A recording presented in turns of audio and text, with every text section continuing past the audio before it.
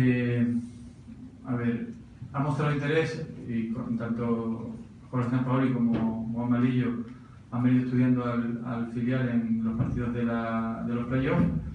Eh, posiblemente al final de semana se incorporen, día 9, se incorporen un grupo de ellos, y, pero no van a ser los únicos. Lo que pasa es que vamos a ir alternando un poco para que vaya conociendo los que pueden ser interesantes. Ya cuando eh, la semana que, el próximo día diremos cuáles son antes del día 9, evidentemente, pero insisto, no va a ser un número cerrado, ¿no?